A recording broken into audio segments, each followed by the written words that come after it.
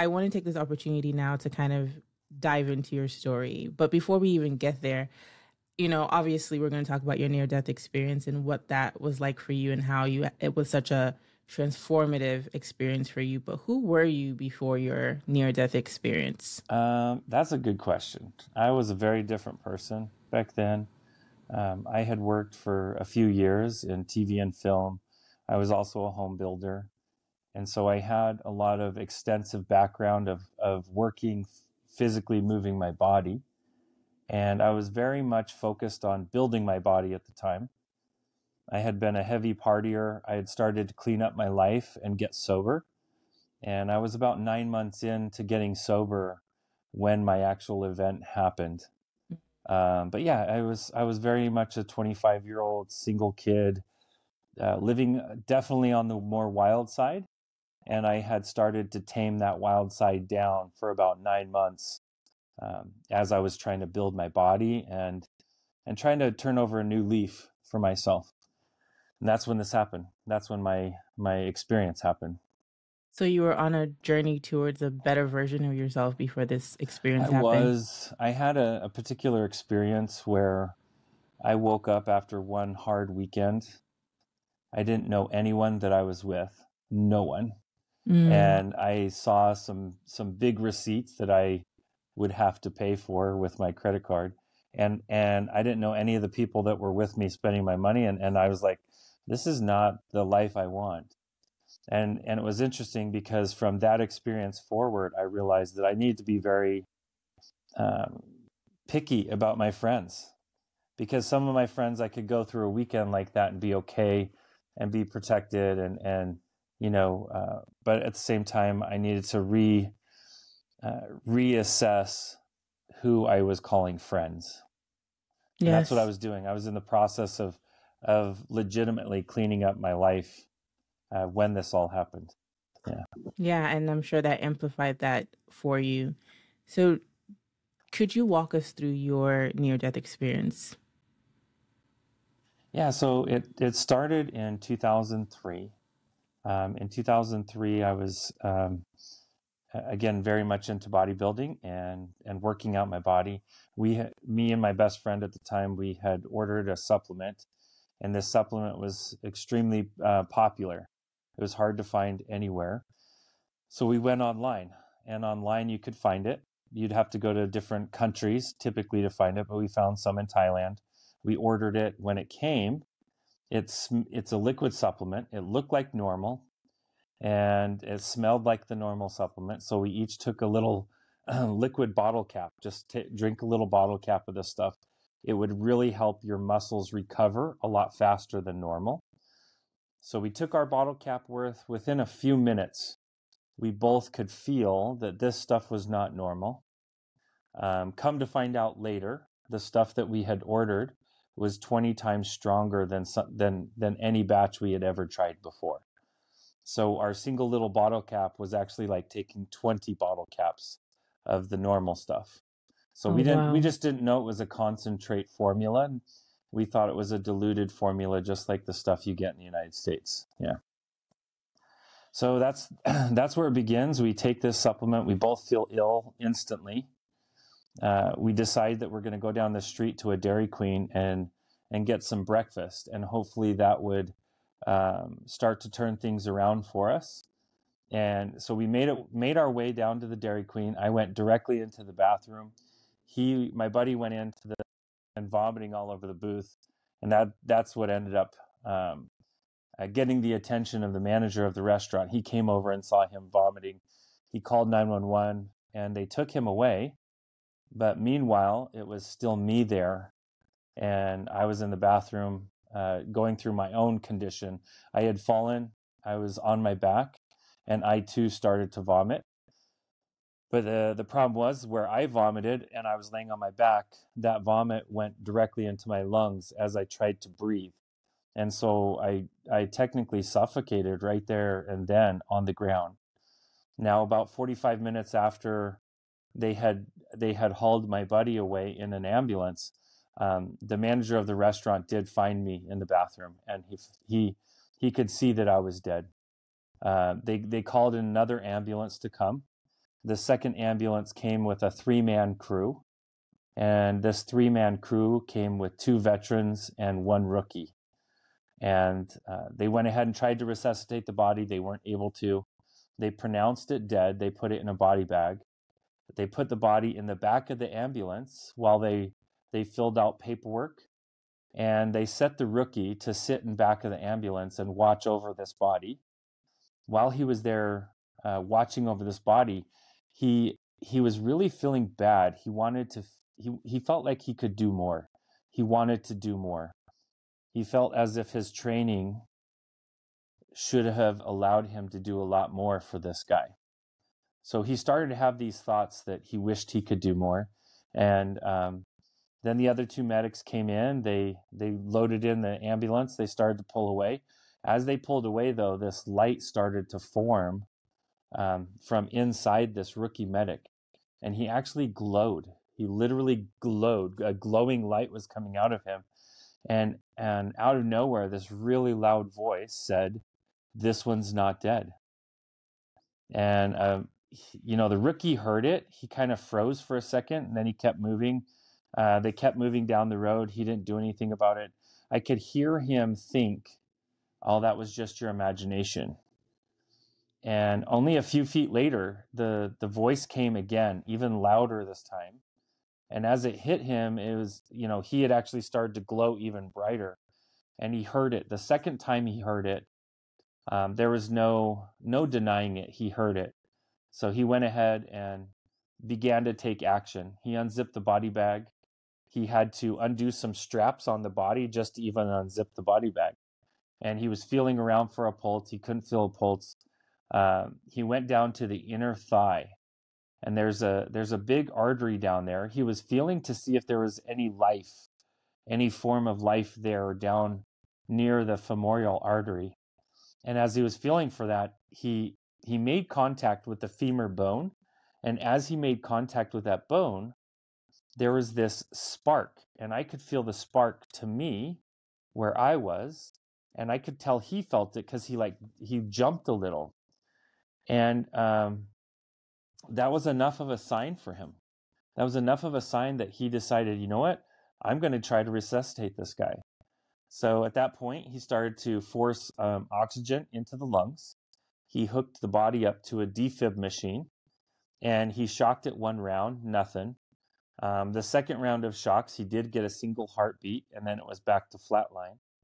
And then the third round of shocks, he got a steady heartbeat to show up. And at this point, um, the other two medics were just almost in awe of this rookie that that he was able to pull this off.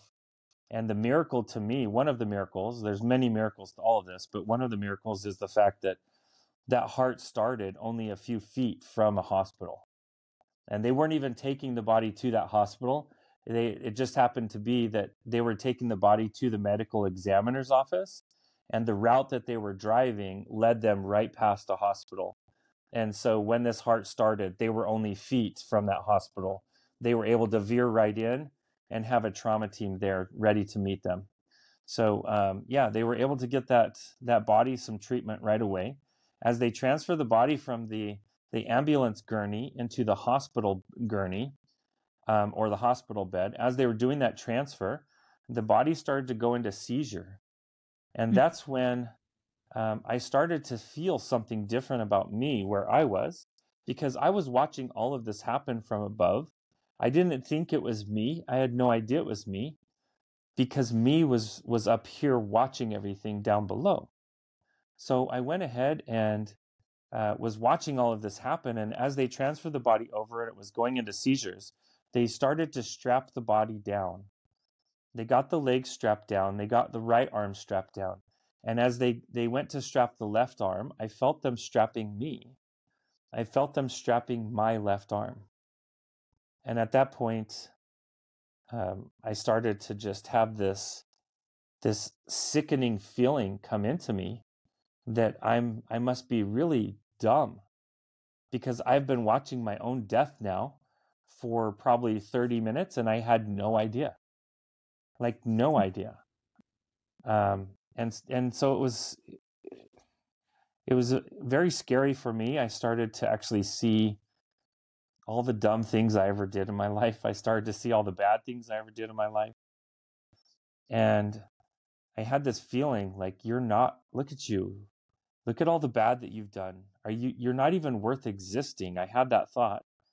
And as soon as I had that thought, I was instantly responded with this energy of love. And this love started to just pour over me. And as it did, I started seeing all the good things that I ever did. I mean, even the little good things that I did, even as a really young boy, the good things I did, all the way up till present day. And I got to I got to realize that I had done a lot of good, way more good than I had, had ever done bad, and that um, I was worth embracing this love that was pouring over me. That's when I realized that this love that was kind of permeating me and and really healing me, it was coming from behind me. So I turned around to see where or who this love was coming from. And I see this man all dressed in white, and he has a long white beard, and he has just like these eyes, these piercing eyes. They can like look through you. And as this is happening, I just had the thought, oh, you must be God. And he smiled, and without using his mouth at all, he said, No, son, I'm not God. And so I had the follow up thought, eh, almost like a stammer. I was like, Well, if you're not God, then are you Jesus? Like, you know, and and he ex- he explained that no, I'm not Jesus, and he he loved that I thought he was, but he called himself my guide. He said, I'm your guide to help you go wherever you want to go. You can call me, he, he explained that I could call him Drake, that his, his loved ones and his life had called him Drake, and that I could go wherever he wanted to go. So he motioned to my, my physical body, he motioned to it and said, I can help you go back there. And I looked back at that body and it looked like hell. The body was again in a full seizure there was all this this uh, foam and other it was weird there was a lot of um, weird colors coming out of the nose and the mouth of the body and as i looked at that i was like no i don't want that. Why would i want that? And so he he asked well i can help you go well anywhere you want to go. So i said well i want to go wherever this this love is coming from. The love that i'm feeling come from you drake. I want to go to that. And he explained that that love is coming from my home, that that's where I originally came from, and I can go back to that home if I want to. So that's where where my my journey begins is right there. He began to take me on this journey home. And when I say home, I mean like a different place than earth. But at the same time, it's it's also right here. He was taking me to like this different dimension uh, and it felt like I was moving for a very long distance, but at the same moment, it was just moving to a much higher dimension, and that that's very much what the the illusion of distance that I was feeling. It was coming as we would pass through dimensions and and go back home, where we all come from. And as we were, you know, on this journey, he he helped me understand that there was quite a bit I didn't know and for me to get into home or heaven, I had to learn a bit. I had to, I just had to be willing to accept certain truths. And if I could accept these truths, he could help me get into heaven. He could help me get into my home. And so we began this process. And it was, uh, I could speak for hours and hours just about the journey itself, but it was absolutely amazing. I I was raised Christian, so I felt like I had some special VIP card for heaven. I thought for sure that that oh, I've got it easy, Drake, you know, you can just let me in heaven. I am a Christian. And not only that, I have, you know, I had accepted Jesus as my savior. So I felt that like I must be able to just get into heaven. And he he loved that I was excited about that, but he explained that there was still a lot more that I had to understand and one of the first things he he helped me understand that I wasn't as authentic as I thought I was. I mm. thought I was a pretty authentic person, but he helped me see that there was a different Vinney that would go to my parents' home There was a different Vinney that would go to church once in a while. There was a different Vinney that would go on dates with girls and, and go on um, party nights with his friends. There was a different Vinney that would show up at the construction sites. There was a different Vinney that was a you know helping produce movies and TV shows. And it's like you know I had all these different aspects of who I was, and he helped me see that underneath all these different Vinneys was the core of who I really was. And that what I would do is as I would approach a certain event or a certain venue or a certain interaction, I would put up a mask and I would become who I thought I needed to become for for where I was going. And he helped me understand that authenticity is is really paramount for all of us on earth. And he helped me understand that without authenticity, I can't grow. And so I needed to find out who I authentically was first before I could actually start this process of growing and developing myself into someone who could be in heaven, who could be at this high level of love to get into heaven. So that was the first thing. And it was interesting because I thought for sure the first principle would be love, that love would be paramount. And it was funny because he said, Yeah, love is paramount, but it's not the first thing.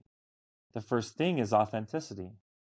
Because until you're authentic, you can't feel or give real love. And that was a that was an aha for me. That was a big wake up. Because I thought that for sure I could love others and I could receive love. But until I could authentically be me, I couldn't do either of those things. And that that led me to the second principle that he taught me. You know, authenticity being the first thing. The second principle was um, understanding why we were there in, in earth. Why was I on earth? And he explained that, that all of us have chosen to be at earth. He calls it Earth School because it is a school and it's always been a classroom. It's never been a courtroom. That we've we've elected to come here so that we can learn things, and that's what it's all about.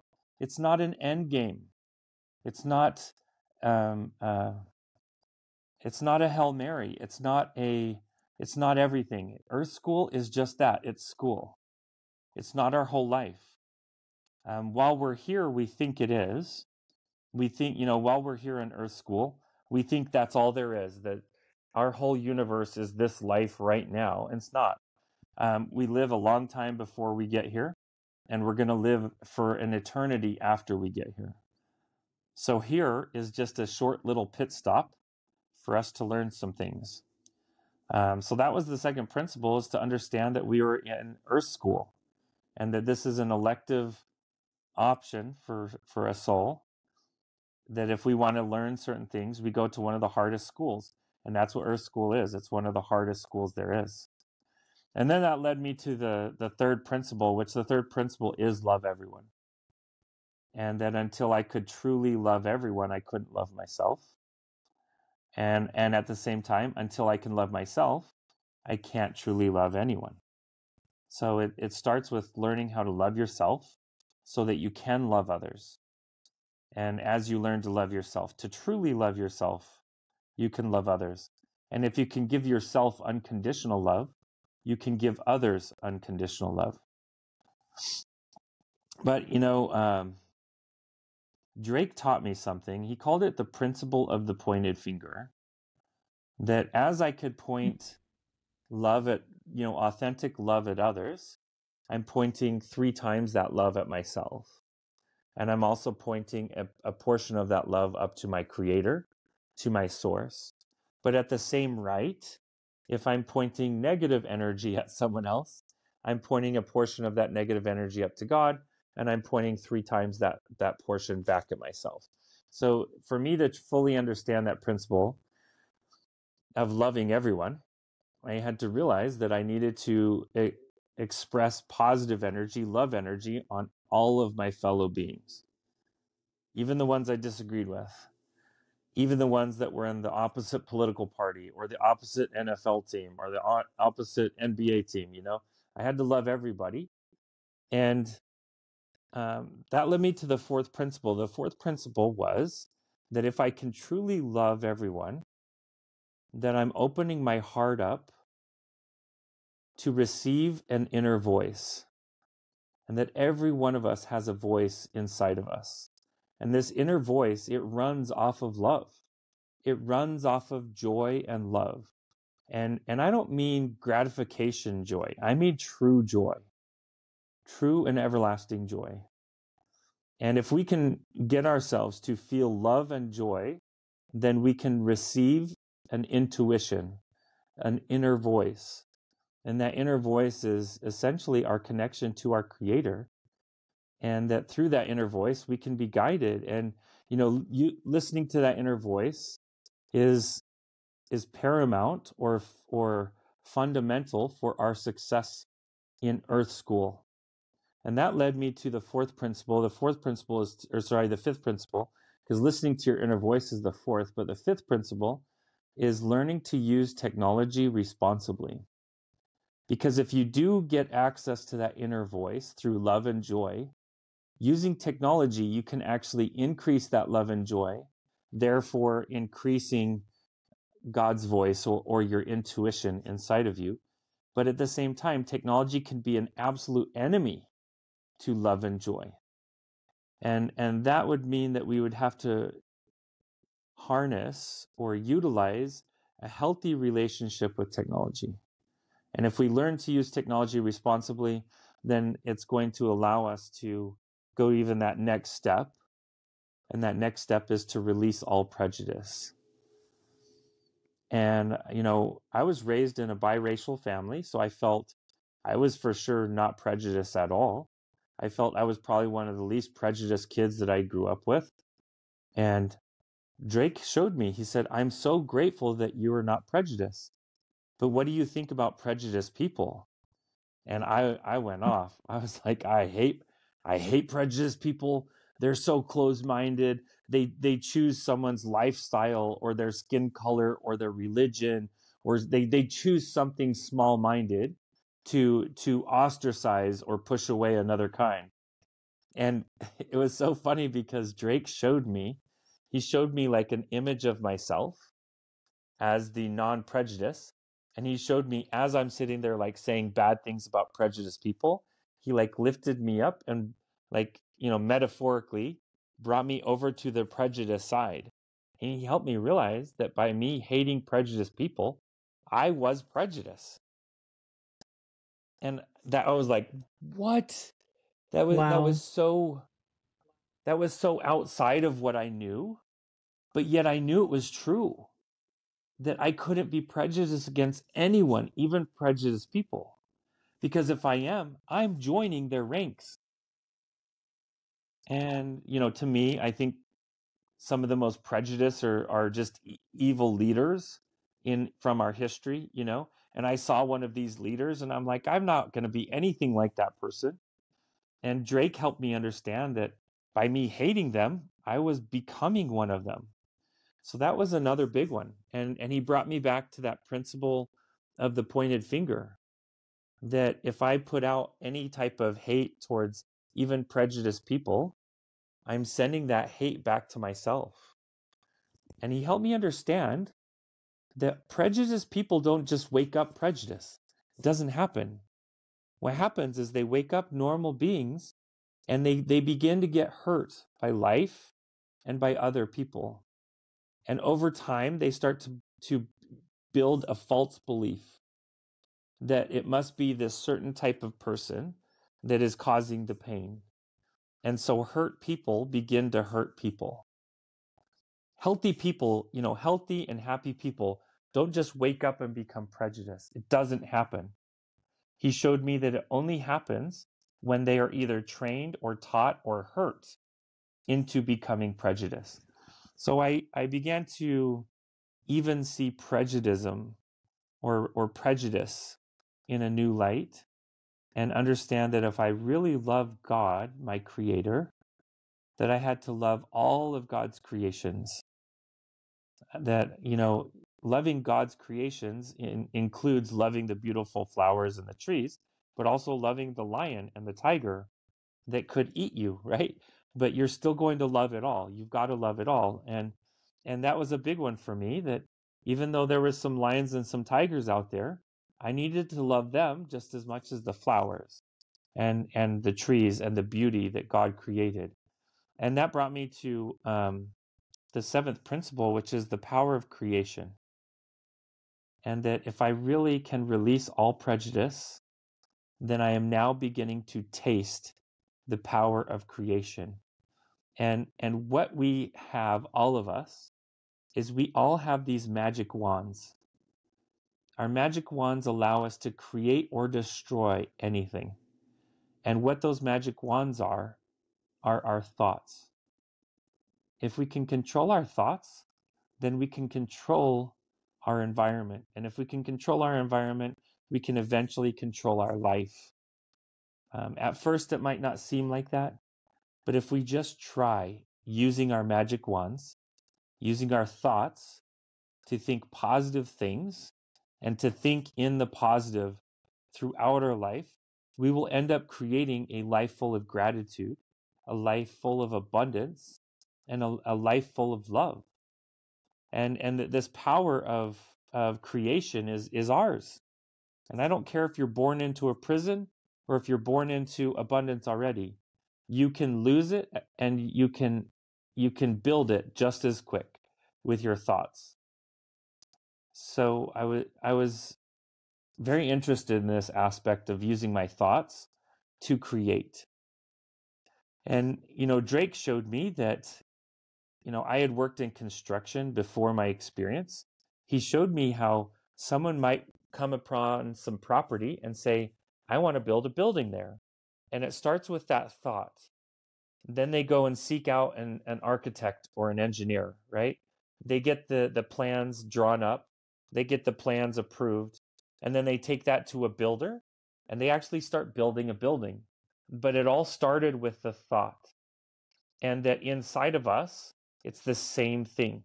We can build our world, we can build our life, we can build our paradigm the way we view life, beginning with our thoughts, and how important it is for us to learn how to control our thoughts and to to turn our thoughts into love, turn our thoughts into gratitude and abundance. And as we do that, we'll create, you know, gratitude and abundance in our life. Yeah.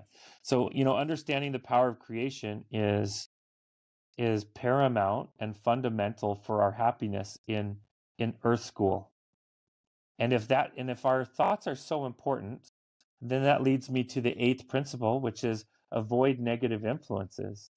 Because if your thoughts are so powerful, how important is it for us to recognize negative influences and to avoid them, right? And and I'm going to take it even one step further. Rather than even just avoiding them, create positive influences or seek out positive influences. And in doing so, that's going to help us use our power of creation even better. So yeah, the eighth principle is you know avoiding negative influences and seek out positive influences. And that leads me to the, the ninth principle, which is there is purpose even in evil in this life. Because for us to grow, we need to have choices. And if all the choices are only good choices, there are no bad choices, then there is no growth. And having bad choices is like having weights at a gym. And it takes us sometimes making the bad choices or learning from others who have made those bad choices to learn uh, for ourselves how to make the good choices. And that it is vitally important for us to have what I was shown to be called free agency or the ability to make choices good and bad. And as we learn to choose good things, that strengthens our ability um, and our intention to to choose good things. But as we make mistakes and we choose bad things, if we're learning from that, then even our bad mis- our bad choices can lead to growth and lead to uh, making ourselves better better beings, better followers of our Creator. And that that led me to the last principle, and the last principle was and is that we are all one. All of us. It doesn't matter our it doesn't matter our color, our race, our our religion, our lifestyle, that we are all one, all of us. And that for me to heart or to hurt or to harm another is no different than hurting or harming myself or one of my own children. And that for me, I have to understand that to truly understand God and love God, our creator, we have to we have to love everyone. And and you know, we are if we're all one, that I there's no such thing as a good war. There's no such thing as a good battle because we're only battling ourselves. That's it. And, you know, um, I've had this experience now. It's been over 20 years since my experience. And this is one that is even still hard for me today because we are living in this world full of ignorance and everybody's a victim. Everybody's a victim, but yet none of us are victims. And I'm telling you, like everywhere you go, you see people claiming that they're some type of victim. And everybody's a prima donna about what type of victimness that they have. And and it's so sad because it's like putting a bunch of handcuffs on a table and asking someone, which handcuffs do you want to go put on? That's what victimhood mm. is, is handcuffs. Victimhood is not anything to make you stronger, better, or more important. And in fact, it's the opposite. And and the ability to be some type of victim is that it's it's it's an enslavement. You don't go around the world and find successful victims. You don't. You find you find victims that have become successful by abandoning the victimhood mentality, by abandoning any type of victim that anyone was, right? And so it's important for us to understand in this life that we are all one.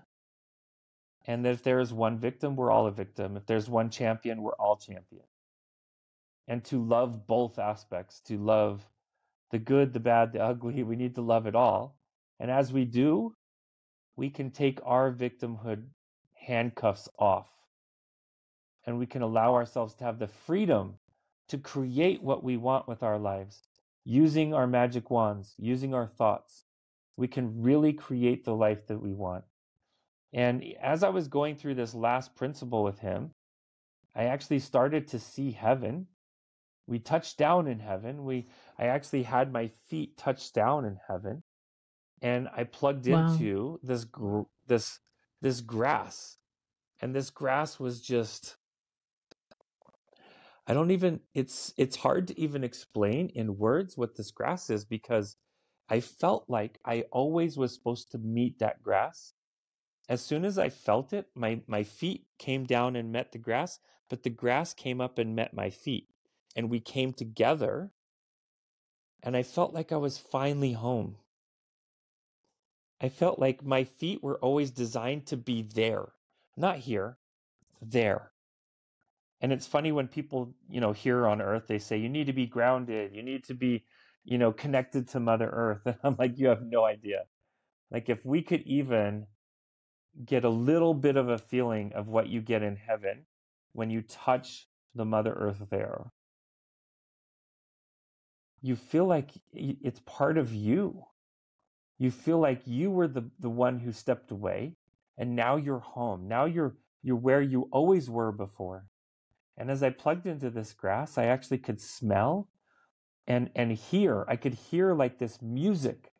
And it's it's so beautiful because the music was not something that I was even just hearing from outside me.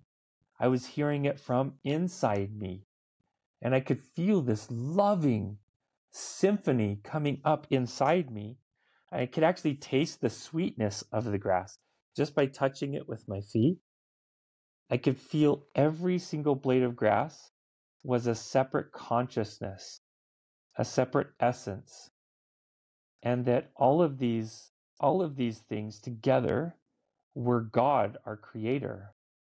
That the grass itself was the consciousness of God, our creator. And so I, I Again, again, I could talk for hours and hours just about the grass, but I felt this as I touched this grass. I felt this form of love I had never felt before. And this form of love, Mm. it came in, it poured in on me, and it started to heal me. It started to heal me in a way that I didn't know I needed healing. Um, now, you know, speaking earlier about victims, I was I was a victim of abuse most of my life, and um, all sorts, like all sorts of abuse. And so I had a lot of cracks. I had a lot of uh, brokenness on me. And this grass started to bring this loving energy from the, the, the planet of heaven or from the space of heaven and bring it into me and heal me. And as I was getting so giddy and excited about this grass, Drake was was kind of laughing because I was so excited and I thought this is so amazing. And he he's like, "You think the grass is good? Look at the flowers." And I was like, "There's flowers! Oh my gosh, there's flowers!" So he he brought my energy over to the flowers, and now it was like grass times a billion.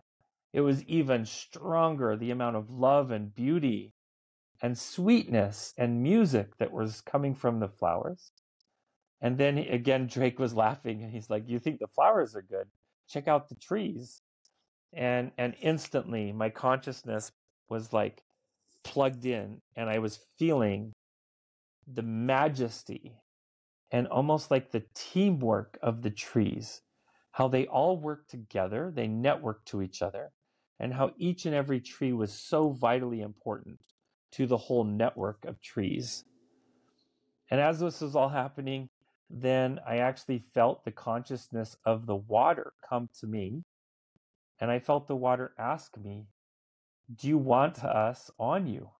And I said, Yes, I do want you on me. And and so the water came up, started with my toes, and it came up, it came up over my toes and actually just started to climb up my body. And as it did, it it again helped complete that healing process of healing me from all the trauma and the harm that my life had had kind of put onto me. And so I I got the most tremendous feeling of healing from this water. It felt like any little crack that I had ever had in me, in my heart, in my being, that every little crack was filled with this tremendous unconditional love. And I could feel this beautiful sense that that there was way more love than I could have ever deserved here. And I had that thought. I had that thought like you don't deserve this love, but yet it's here. And and right as I had that thought, I felt the consciousness of the water say we're here for you, all of us. We're here for you. And that's when I realized that heaven is a space that has been created for each and every one of us. And there's nothing we could do to deserve it. Nothing. There's no amount of good deed um, that we could do to deserve this tremendous gift of what heaven is. And as this is all happening, I see that there's this building, and it's it's pretty far off. And I'm getting very interested in this building. And as I am getting interested, Drake notices that I'm getting interested in the building. He starts telling me a little bit about it. I start understanding what it is. But as this is happening, he, he gives me this sense that my time is short and that we've got to hurry and we've got to do something. So he steps in front of me. He steps in front of my consciousness and he puts his arm forward onto my shoulder and he, he looks at me dead in the eyes and again, his eyes, I swear to you, they're like little lassos. Like they could just go in and lasso you and like draw you in. So I'm staring at him, he's staring at me, and he says, Vinney, this is going to be very hard. It's going to be really hard, but it's going to be worth it. And as he did that, he brought me in for a hug. And this is something that that we have nothing like this hug in in earth nothing it's better than anything you can experience on earth but he brought his his being together with my being and we actually became one being one being of light And as we did, it felt like we became a pulsar. I felt this like expansion, like boom, like a huge boom of expansion. And I felt me as a being, as a consciousness. I went way outside myself with my own energy. And I felt safe doing that because I had come together with Drake. And as this was happening, I started to hear loud in my ear. I could hear my my earth brother's words. And what had happened, you know, I had actually I had actually died. My body was brought back, but I was still brain dead for 3 days. So I went in the hospital brain dead on January 18th I woke up on January 21st. And what had happened is my brother was saying a special prayer over my body. This is my birth brother. He was saying a special prayer over my body. As he got done with this special prayer, he said, Amen. He concluded that prayer. And with the conclusion of that prayer, I felt a rip. I felt a tear. I felt that I was pulled away. I was pulled away from Drake. I was pulled away from heaven. I was instantly forced back to my body. And to me, it was instantaneous. I, I felt him say amen, and then bam, I woke up in my body. Um, in the real world sense of things, he actually had said the blessing or the prayer over my body at about 10 p.m. and I woke up at 1:11 in the morning. So from 10 p.m. until 1:11 in the morning, that was me transitioning back from heaven. And it seemed instantaneous. It really did. seemed instantaneous. I made it all the way back um, to my body. I woke up. It was again at 1:11 in the morning. I felt extremely claustrophobic. So the first thing I did is I unplugged everything off of me. I had IVs in both arms. I had um, uh, tubes coming out of my face. I pulled everything out. I had a catheter in my urethra, I, I pulled everything out. I didn't want anything touching me. So I stood there for a few moments and realized that I was naked. And, and also there was all these machines. They were making these loud alarm noises. So first things first, I went and unplugged all the machines. Anything that had a plug on it, I unplugged it. I didn't want anything that was making any noise around me. And then I went rifling through the cupboards to try to find um, a, something to wear because I, I recognized that I was naked. So I, I grabbed a couple of gowns, I wrapped them around myself, and I went directly out of my my hospital bedroom and went directly to the right. Somehow I knew that's where the elevator was. And I just I pretty much went to a jog all the way down to the elevator and I was hitting the down button when I heard a scream. And the scream was a nurse. She had gone in my room to check on why everything had flatlined, everything with all the all the sensors and, and equipment had gone down. So when she went in there and saw there was nobody there, so she screamed. She was like the loudest scream. And then um, I, I turned and I saw that that she was in my room, and another nurse came running in, and and both of them came out and they saw me standing there holding the gowns around my midsection, and they both screamed. And at that moment, I knew I needed to come back. I didn't want to get them in trouble. So I, I came back. I told them I wanted to go home. They told me I couldn't go home, that I had to get the doctor's approval. I had to get many medical departments' approval before I could just be cleared to go home. So I began that process. And from 111, you know, from the, the early hour of one in the morning all the way till about 7 a.m., I was filling out paperwork I was signing paperwork. I was doing test after test after test. And I passed all the tests that they had for me. There were certain tests I wouldn't do. I was just like, I don't need that test. But but everything that they forced me to do, I took their test. I passed it well enough that I could leave on my own recognizance. And uh, right at 7:30 in the morning, my father came by, and he was able to pick me up and take me home. And that's that's where you know my experience begins my experience has had quite a few things happen since and um, six months after my experience i was in this little town in wyoming and i saw this this history presentation about the history of the town of Afton, Wyoming. And one of the first clergy in that area was this man named Charles Kazare. And when his picture came up on the screen at this presentation, um, my my my wife, she she was my fiance at the time. She pointed out, she's like, "That's your guy. That's the guy who you you mm-hmm. tell me about all the time. That's the guy who is leading you through heaven. That's your guide." And I wasn't looking and paying attention really. I I was like, "That's not him." And I looked up, and as soon as my eyes caught the, his eyes in the picture, I just froze. I froze. I started huh. to get cold. I started to shake.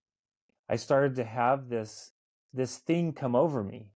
And and it was really really odd because now what was possibly a delusion, it was now real. But here was the weird part.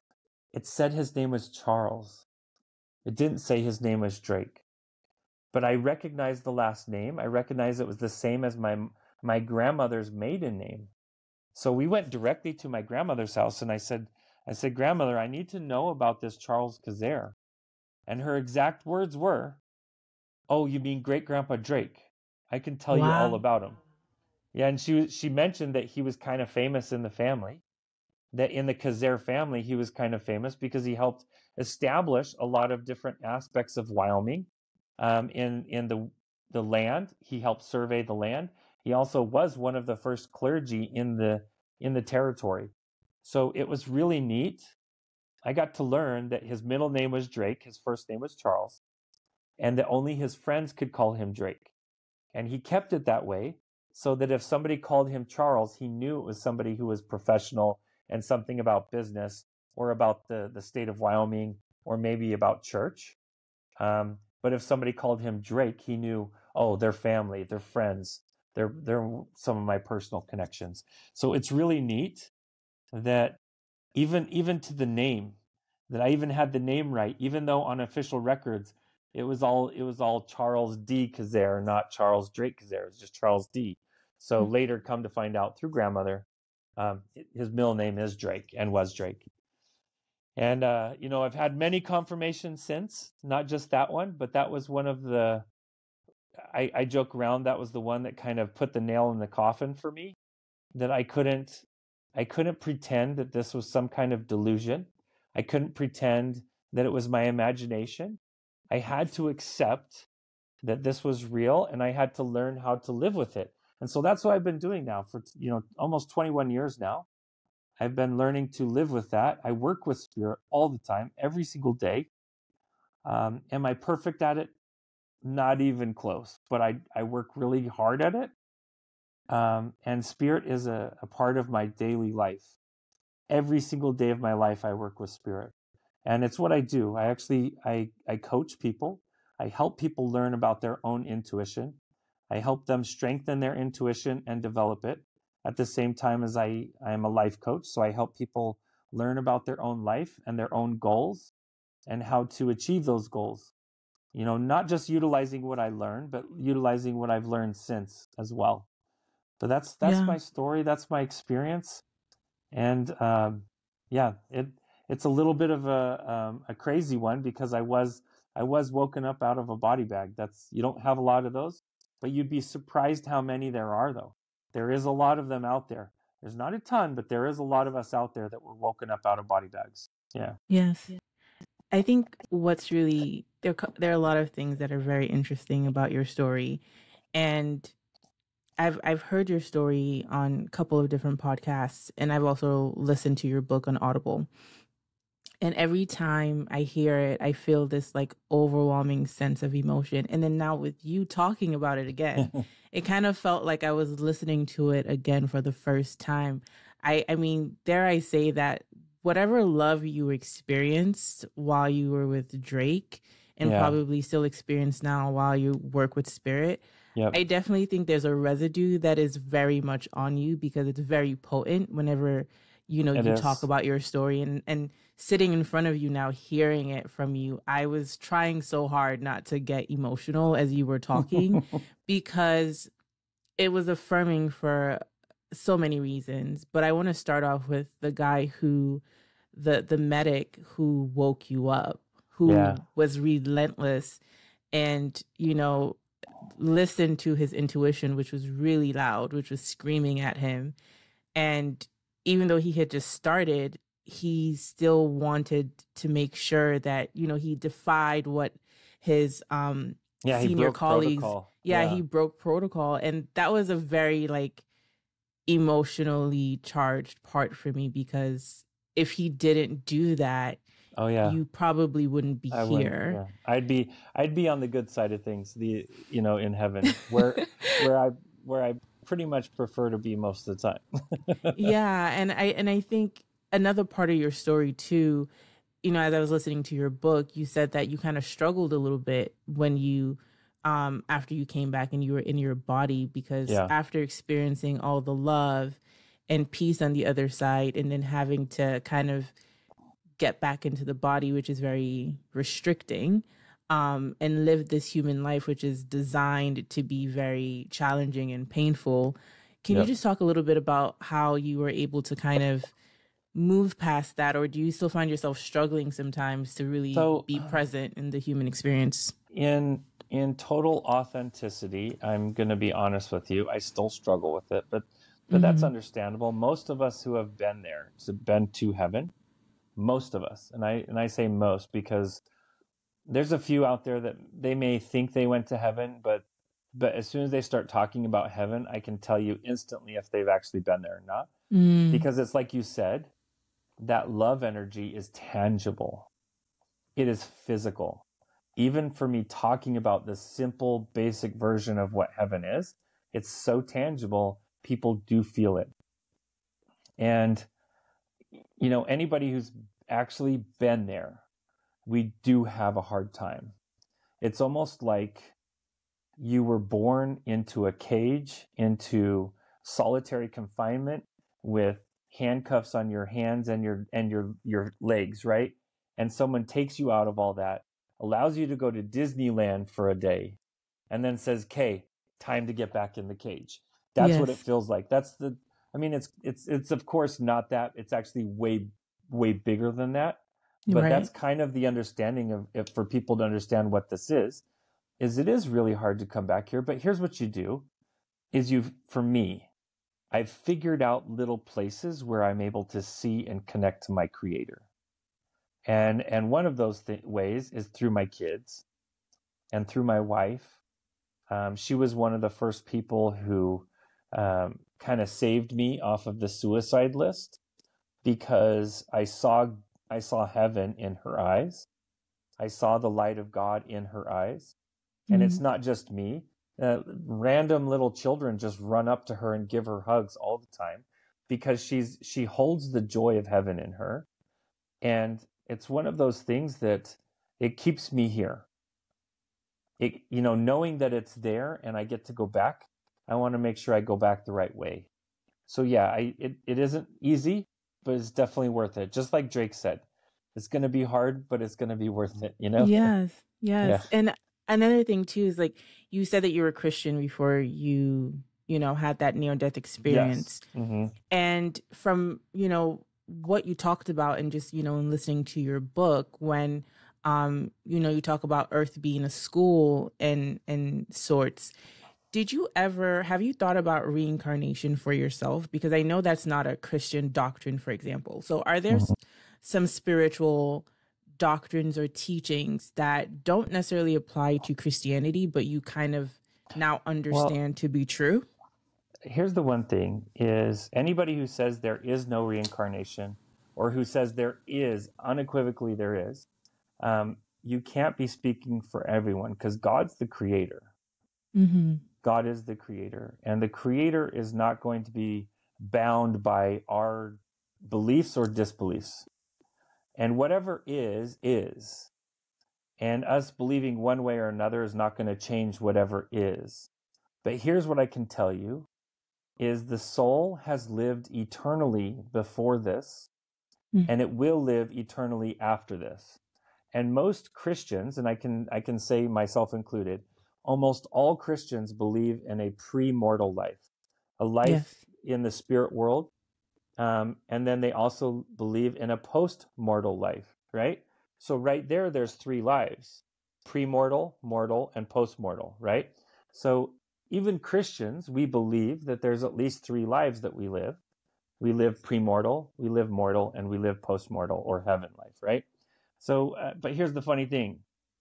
If that's going to keep you out of heaven, you've got some problems. You don't need to be going and fighting anybody on whether reincarnation exists or not. Because here's the thing I've actually worked with souls and spirits where I could pick up um, previous history on them it doesn't mean that they were necessarily reincarnated, but it means that there's something there, and I don't understand what it is, and only God does.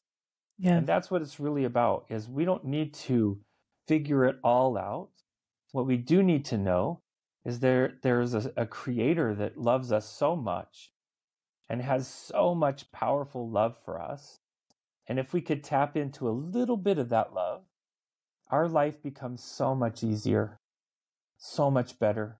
And we're not going to tap into that love arguing whether reincarnation is or not is, you know? Yes. Does that make sense? Yeah. yeah, it makes a lot of sense. And, you know, I asked that question because, you know, one of the reasons I love listening to near death experiences and, and why I got into it, you know, so many years ago, um, is because I've always had a sense ever since I was younger. I would go outside and sit on my porch and look up at the sky and just be like, where am I? Like, what is the point of this? So I've yeah, always had exactly. that inquisitive nature.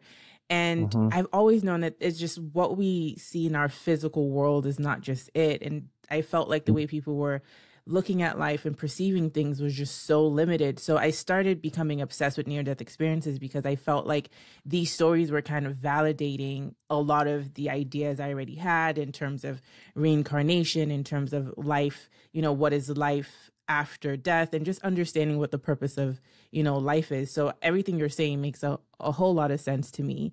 Something else you talked about in your book which i was very intrigued by was the whole concept of the devil because that's something mm-hmm. i'm trying to you know understand because people talk about the devil a lot and sometimes i'm like is it a fear tactic does the devil actually exist as a entity or is it more of an energy that energy of hate and um, division. So I just wanted to hear your thoughts more on yeah. So on that to answer to answer that, um, is there a devil? Yes, there is a devil. Um, is it mm-hmm. the energy of hate and loathing and anger and fear? Yes, it's all of those things. And, and essentially, to me, the way that it was shown to me is the, the top of Jacob's ladder. Jacob's ladder is our ability to ascend to heaven, to be with our Creator, to be with our Father in heaven, right? And at the top of Jacob's ladder is God, our Creator, our source. And at the bottom of the ladder, the furthest distance from God is Satan or the devil, right? Um, different cultures have different names.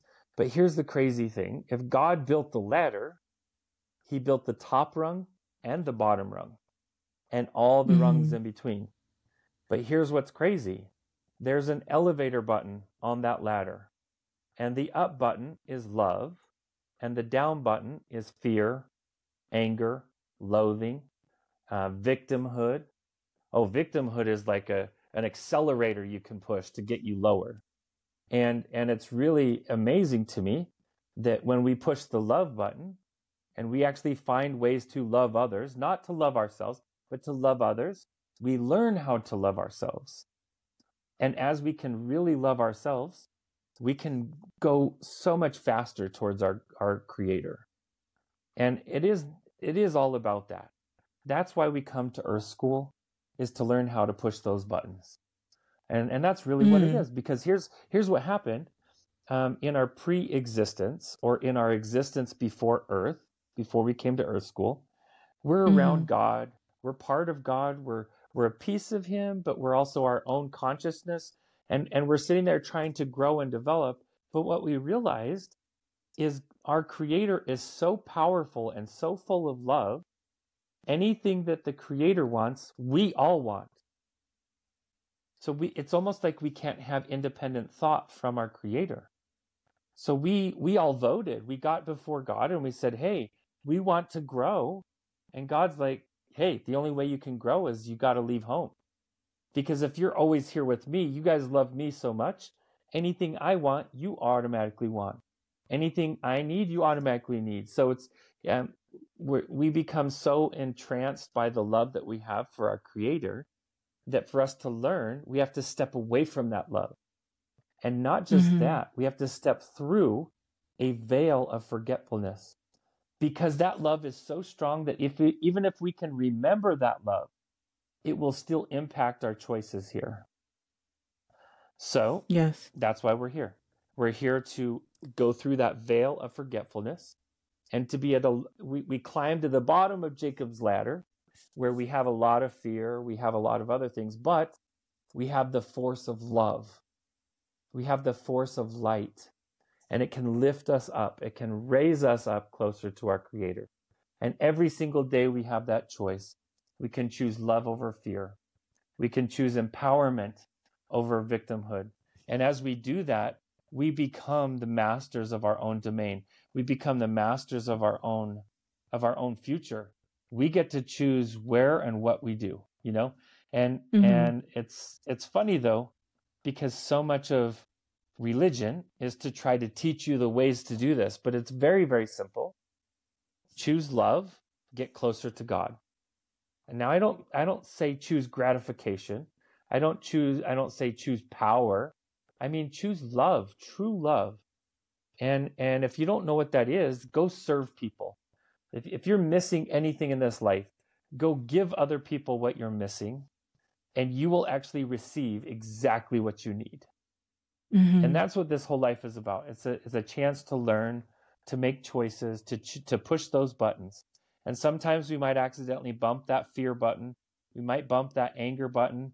And if we're human, we're going to. It's natural. Yes. But it's what we do with that. It's what we do after we we step out and realize, "Oh, I didn't mean to be here." You know, it's what we do there. That's what counts. Yeah. I like the analogy that you gave about the the different um, levels and the elevator analogy that you gave. Yeah. Because it because you're right. I do think that God is the creator of of everything really. So mm-hmm. does a hell so you talked about heaven and you talked about different types of heaven heavens. There are multiple heavens. So yep. in talking about the the devil, is there a hell? Because a lot of people will say hell does not exist and nobody really goes to hell. I mean, depending on how your soul is evolving, if you're evolving to be more of a negative person, then you might yeah. be in a in a negative realm or you might, you know, have that experience, but a hell does not exist. Is I don't know yeah, the, if you have any clarity on that. I have to kind of eat my own words because I, I've I've told a lot of people over the years there is no hell. The in fact, the only hell that exists is is here. But but really, here's mm-hmm. what hell is. Hell is not a place, it is a state of being. And we can find okay. hell here, and we can find hell anywhere. But at the same time, we can also find heaven here. It's our choice.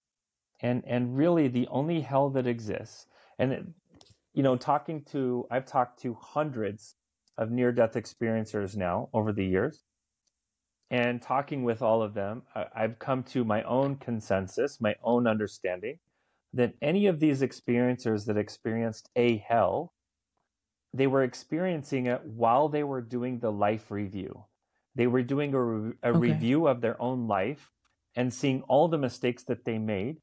Now, what happens though if they get stuck focusing on all the mistakes they made? it would feel like it's hell for sure. But it's never permanent, ever. Because the second they yell out for God or they yell out for Jesus or they yell out for the um, the Prophet Muhammad or they yell out for whoever they're yelling for in deity form, then God shows up.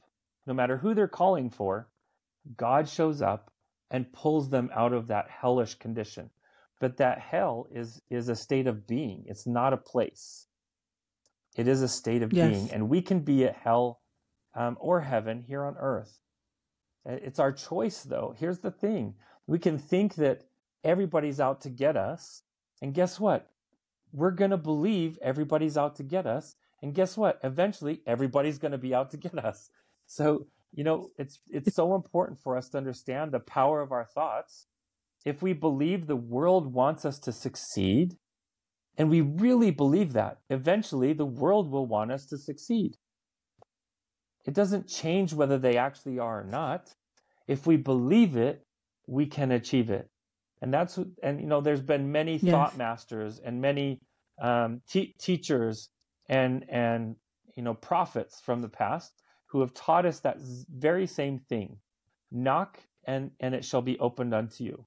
So knock on fear and fear shall be opened unto you. Knock on love and mm-hmm. abundance and love and abundance will be opened unto you. So it's it's very important for us to learn from the holy words through scripture, through ancient writings, through through the the truths that God has put on earth from long ago. And we can learn from that very much today as they did, you know, 2000 years ago or 1500 years ago. Um, it's just as important today. Yeah. Yes, I, I think there's another verse in the Bible that says, "Ask and you shall receive." And I remember my theology teacher in high school, mm-hmm. he I remember he he said he he said heaven is on earth. And I thought because I'm very much into these things, I thought what does that mean? And after years of my own spiritual work and journey, I realized that it's in the mind. Heaven or hell really is a state of being. It, is. it starts the with the thoughts and, mm-hmm. and the mm-hmm. feelings that you have in your mind. And another thing that I loved in your book, as you were talking about the different principles, and I, I think it was the principle on us being one, or it's either the pin- principle about loving others, where we talked about how different religions, as far as they're preaching the truth, because obviously we know that religions have been, you know, tainted depending on how people, you know, um, yeah. interpret the teachings of of God. Drake had said that um, all religions are valid that mm-hmm. preach love. And I thought, I've mm-hmm. always felt that way. And it was just really, really, again, affirming hearing that from your uh, story. Yeah. And, and that's one thing that I, I really was amazed because when I was in the actual place of heaven, it was full of all sorts of cultures and colors and religions. It was full. And how yes. amazing that was to me that there was this this place of unconditional love and that place of unconditional love was truly for all of us. And that our religion could either uh, embolden us and empower us, or it could imprison us. But it's the love that that lets you choose which of those it is. If we choose the, the fear path with religion, we become imprisoned by our religion. If yes. we choose the love path, we become empowered. And I believe it with every fiber of my being that is, if we use that power of love, it goes beyond religion. It, it helps us exit that religion into into God's kingdom. Yes. You know, as I was listening to you talk about love and I'm a big believer in love. I one of my main missions about, you know, the work that I do in podcasting is to spread love and spread understanding and give people new perspectives on life and, and how they view the world. But, you know, sometimes I even think for myself too, how can we love someone who, you know, is just so obviously what we would consider to be evil, right? When we think about people who hurt little kids, for example, people who walk into a mall or a school and just start shooting, and, you know, how is it possible? How can we create a space where we obviously want to hold people accountable for their actions? How do we hold people accountable and still love them? Because I think sometimes for me, I'm like, well, if I'm so loving, then I might be so quick to forgive and I might not want to hold people accountable for atrocities that they're committing. So do you hear people ask that question and and do you think about that for yourself? Like how is it possible to love people who are so hard to love? Well, the, the thing is, love and justice can coexist. Okay. They can. Love and justice can coexist. Um, just because someone is being served with justice doesn't mean you can't love them. You can. And in fact, um, a, a, an inspiring woman to me has completely adopted her son's murderer. Mm-hmm. And I have watched so much Christ like love, God like love being shown by her as she has fully adopted her own son's murderer because she realized that the murderer of her son was just a lost little boy. And so rather than only seek the justice path, she's allowed the justice to serve, but she herself has, has superseded that justice with eternal justice of love. Mm. And how she has done more honor to her son's sacrifice by loving her murderer than ever by, by doing what she also could have done was relish in his life imprisonment, relish in his failures. She has taken the, the complete highest path possible on this earth, and that is love. There is no higher path than love.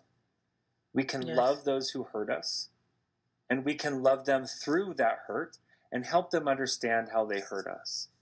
And then we can help love them into a loving place. But here's the thing it's like what I said in the beginning um, hurt people hurt people. People don't just set off being strong and healthy and loved and decide to start hurting others. They do it because they're hurting themselves. So, what we need to do is we need to go back to where the hurting starts, and that's in the home or the lack of a home. That's where the hurting starts. And that's where we as a society need to start loving and caring about each other. Yes. Our, our world used to have a, a culture that we were raised by our communities. And that if, you know, mom had a hardship, the community would step in and take over for mom. If dad had a hardship, the community would step in and take over for dad. And these communities, they work together to raise the children. And that's that's the future of the world. That's where the future lies. We now we've got some big growing pains to get through before we get there, but mark my words, there will be a day where where the, the light and the love of God permeates this planet, permeates it everywhere. And as it does, we will be communities. We will be communities of love. We will be communities of light. We won't be major cities like we have now, but we will be communities, little nest eggs of light and love where we take complete care of each other. No matter what our background is, no matter what mom and dad do, we take care of each other. And that it's those communities that prevent monsters from being grown. Yes. It is. Because monsters are grown in the dark. Monsters are grown with with with abuse and in the dark. And if you bring light to the, to the hearts of the world, you you you squash those monsters and you squash them with love and you allow that that divine that divinity that's within all of us to arise and to grow and to become what we're supposed to become. And that's a divine masterwork. Every single one of us is a divine masterwork. In God's eyes, every one of us, from the greatest to the worst of us, we are a divine masterwork. And we're just here to learn. That's what it's all about. Yeah, and grow towards love. It's it's beautiful that you just said that because I was gonna ask too because you and Drake talked about how they're different planets with different beings on them. You know, that's one of the conversations that's yeah. in you know, has hit mainstream media now, which talks about aliens and, you know, beings or intelligent life and different forces. And Drake had said some, a lot of, you know, different beings are way more advanced than we are. Obviously, some are not as advanced as we yep. are. And I was going to ask, like, and there's there's just so many out there. There's more than you could even possibly fathom or think of. Yeah. And in fact, one a term a term that's used in the Bible all the time is there's more sands in the sea. And that's that's what the the kind of terminology they showed me is there's more sands in the sea uh, or there's more creations out there of life than there is sands in all of our seas combined. Yes. There's so much life. And in fact, the life in the universe, life itself, intelligent life, it permeates the entire universe. Everywhere you look, there is intelligent life. It's just we haven't been looking the right way. We've been looking in the dark and not the light. In the light, Yes. you'll see the intelligence everywhere, everywhere. Yeah. Yeah. And, you know, so based on everything you've been saying, would you say the next stage in humanity is to really grow towards love? Because right now we are very much focused on technology and dominance and power. Do you Well, think that there's a shift watch- happening? There is. There's an energetic apartheid happening right now. Mm, And the apartheid was the separation, right? We're watching an energetic separation happen as we speak. People are getting more and more addicted to their technology. We will see in the next year or two, society will cross the barrier of technology and, and biology. They're going to be putting the technology inside the body, and this will only increase the enslavement it's not it's going to be even more convenient. It is going to make things it, the way it's going to be pitched to us it's going to be pitched to us to help us overcome certain health conditions. But i'm telling you mhm. like anything we need we can get from our creator. We can. And uh, we don't need to necessarily um, get our answers from technology. Because eventually the technology will try to replace god it will try to replace deity. And it will get so strong that people won't trust intuition anymore. And in fact they won't they won't even ask intuition. They will only ask google. They will only ask their technology. And they will only trust what they see or read in the technology. So eventually the technology replaces god for many people but you will see a, re- a renaissance of people stepping away from technology and even you will see communities starting to form in the next three years. These communities will start with the whole idea of no Wi-Fi, like no Wi-Fi. Can you believe, can you imagine that? Like no internet in Oh, the wow. entire community. And in fact, to use internet, you have to go to these you have to go to these special energetic protected spaces for you to use internet. There's going to be communities like this starting to pop up in the next three years, and this is a big deal people are they understand that technology is imprisoning them and it's enslaving it's enslaving them and they know that. And if you don't think you're enslaved by your technology do a one day technology fast. That means don't use your technology at all for an entire day 24 hours. And That's if you hard. can do that and keep a smile on your face then may, then maybe you're not maybe you're not enslaved to your technology. But most people and myself included you can't do that. You can't. And so it's important for us to understand that technology will try to replace, you know, they talk about uh, the Antichrist as being a silver tongued serpent. And this is the silver tongued Mm. serpent in the back pocket of everyone.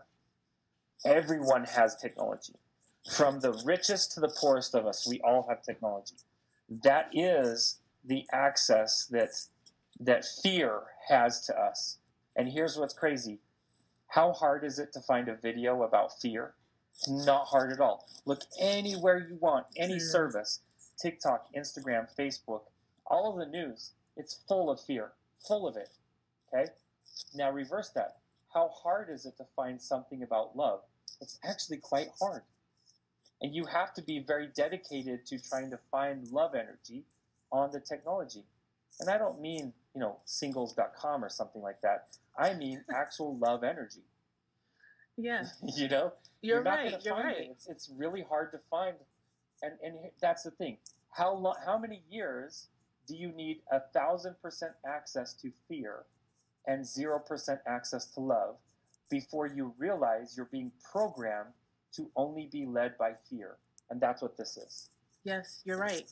I, I mean, it. I even I'm obviously I'm very much addicted to my phone, but I realize that I have to be We very all are. very we all are. yeah yeah I have to be very careful about the content that I you know pay attention to because like you i'm very sensitive to energy as well and you know when i see you know you turn on the news if you follow cnn or any of the major news outlets it's like bad news after bad news after bad news i mean these things are happening in the world but i always you know when i check into myself i'm like i feel horrible i'm on edge i'm anxious i'm you know looking at people sideways i'm filled with a lot more stress anxiety fear and you know prejudice towards people mm-hmm. and you know, when you're constantly consuming that, even during COVID, I just turned off the news. I didn't even pay attention to it at all because I could just yeah. see what it was feeding in my spirit.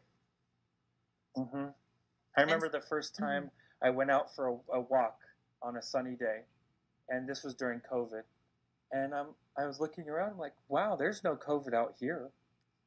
There's just normal life. The sun, the birds aren't wearing masks, right? the little hummingbird that feeds in my backyard, he's not wearing a mask. Right. Like like there was no COVID, there was no fear, right? And so that's when I realized that I needed to get outside as, as often as possible. But you know, in a joking way, I was listening to a news program. This was a few years ago, and they they said we have great news, and we're going to announce at after the break.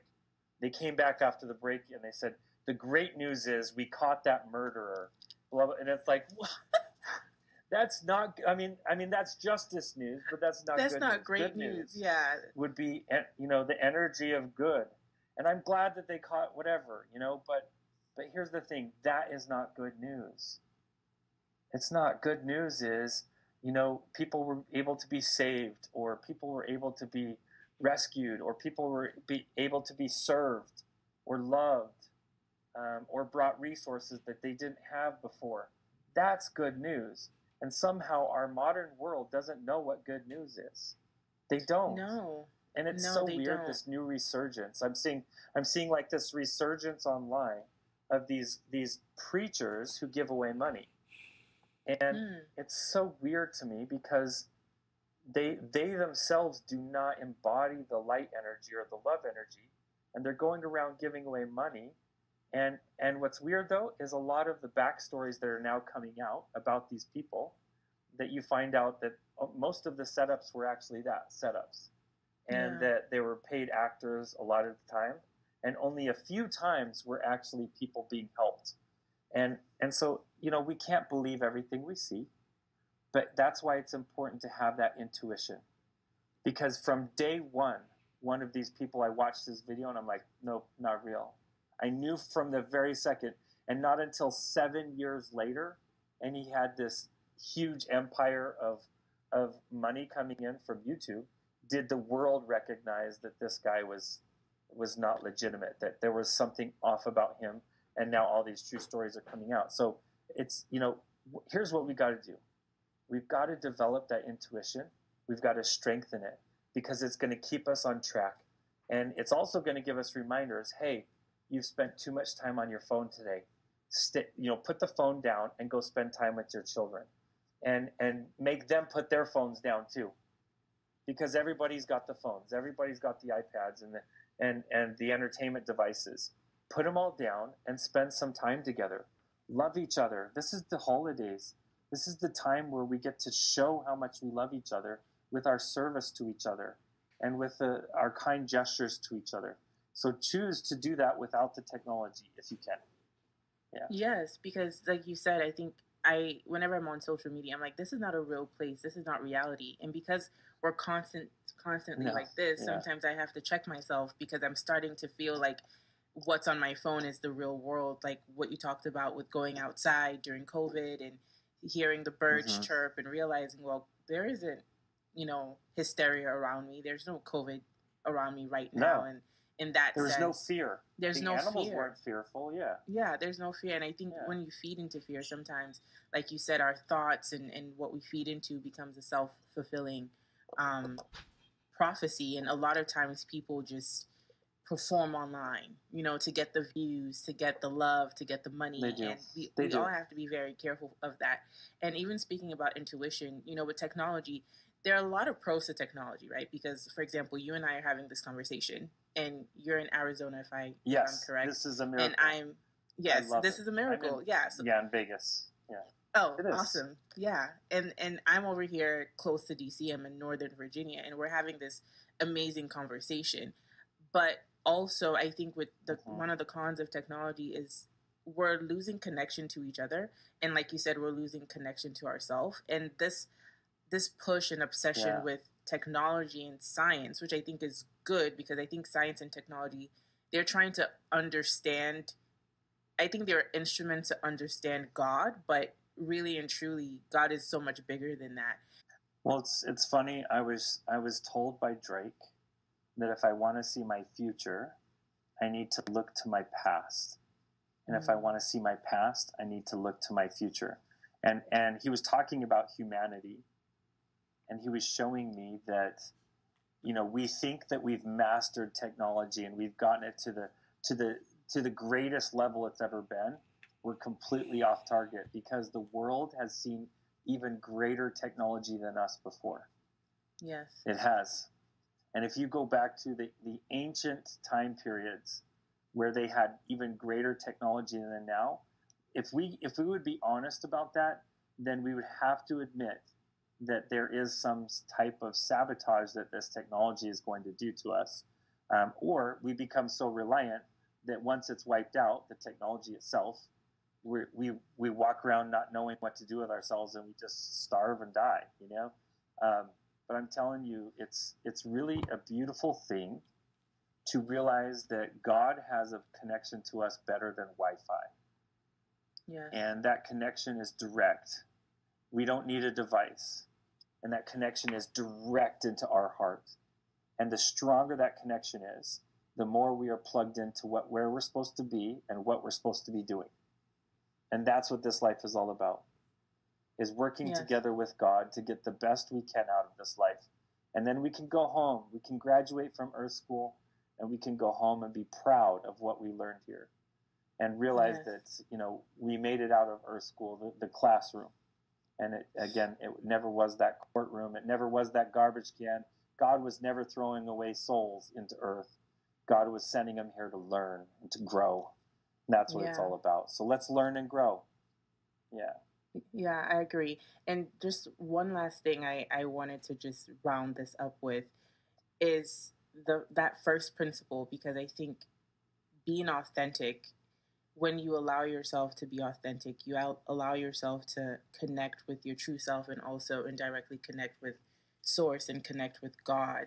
And in your book, Drake gave the example of, and I think you talked about it too earlier in your story, is that, you know, we wear different masks in different social um, settings. And what we need to do is bring our whole self to the table, not try to sanitize who we are at our core. So, can you just yeah. talk about that a little bit? How do we embrace our authenticity and really be okay with who we are at our core? So, I always ask myself, am I okay being myself, my real self, mm-hmm. around this particular group of people? And if I feel like I'm not okay with that, I need to do one of two things. I need to figure out why. What what vulnerability am I trying to run away from? Mm-hmm. Or I need to choose a new group of friends. That's it. Because we need to be authentic everywhere we go. There's only one reason we would not be authentic, and that's vulnerability. But guess what? Vulnerability is actually where we grow in this life. When we find vulnerability, we're finding learning opportunities and growing opportunities. And to not have any vulnerability is to lie to ourselves. So you see these people, you know, uh, blinging their life on, in front of other people. They are trying to convince the world that they are successful. The only reason they're doing that is because in their heart they don't feel successful. Because someone who is truly successful in this life, they don't need to bling, they don't need to fake, they don't need to impress. They just need to show up. And as they show up as their authentic self, that happiness, that success is seen and felt without a bunch of whatever to show it, you know? And and what we need to realize is we have that power or we have that weakness. We can show up and be ourselves, and where we find any vulnerability, recognize it as an opportunity to grow. And when we don't find any vulnerability, we can understand hey, I'm being authentic with this authentic group of people who love me. And that's a that's a match made in heaven right there. That's that's your people, that's your that's your culture, that's your that's your community. And that's what we need a lot more of. Because if you can't be yourself, don't yes. be there. Yeah. Yeah. Yeah, and, and like you said in the book, um, you can't really be loved or receive love if you're not your true self. Yeah, yeah, and in fact, um, yeah. people that um, ha- people that habitually have a hard time finding real love, it's because they don't love themselves. That's why. Has nothing to do mm-hmm. with loyal or not loyal people around them. It has everything to do with I don't love myself. That's why I'm trying to find my happiness in someone else. Yeah. Well, thank you, Vinney. This podcast is called Shifting Dimensions. So I want to wrap it up with a fun question. I know we've talked so much about all of that deep cool. stuff, but has there been anything that you've shifted your perspective on? you know, um, I think the biggest shift that I've found is um, many of the people I used to jokingly make fun of, which i will call it out. I used to make fun of hippies a lot, you know, growing up. Yeah. And I was an urban kid. I knew how to be a cowboy. I knew how to be an urban kid. I used to do like hip hop and and and kind of b boy type dancing and stuff. But at the same time, I could ride horses. So I, I thought I was well rounded. But there was this one group, and it was the hippies. Like I would I would jokingly call them like the tree huggers. Mm-hmm. And it's funny that's probably the most authentic group out there. Nobody's trying to be anything that they're not. And so I've really come to love all the different communities that you find on earth. And that includes the urban group, that includes the metropolitan group, that includes the you know the, the city folk, the cow cowboys and cowgirls, the western folks, um, but the hippies. I love I love that culture of inclusion, and I love that they are not trying to be something that they're not and uh, we all could take a lesson from them and kind of apply the their rules and and and, and boundaries that they put on themselves. We could apply that to our own lives in just being a lot more inclusive and loving of all kinds of people, no matter what they look like, no matter how they talk, no matter what they dress like. Uh, you know, just really loving all forms of life. And and we don't need to necessarily go out there and do any drugs or anything, but I'm telling you, that we can really connect to that love energy and inclusive energy just by opening ourselves up, kind of like the hippies did, you know. Yeah. Yeah, it's just shifting shifting into realizing that that I was judging this whole community that come to find out it's my community. They're they're the ones who really embody yeah. love. Yeah. Yes, thank you for sharing that. Where can people find you if they want to connect with you and learn more about your story or work with you one on one? Absolutely. So I have a nonprofit. My nonprofit organization is called Living God's Light. So they can go to www.livinggodslight.com. There they can learn more about my story. They can also set up an appointment to um, just have a discussion, or they could set up an appointment to do a, a full life coaching. But it's a, a great place to to learn. And in the coming year, we're actually going to have quite a few more facilitators on that website um, through my organization, my nonprofit. And the nonprofit itself is a spiritual education nonprofit. It's there to help people learn and strengthen uh, their own intuition. That's that's kind of like my life mission is to help people do that everywhere I go. Yes. Thank you, Vinney. Thank you for stopping by the show. Yeah, absolutely. Thanks so much. It was great to be here.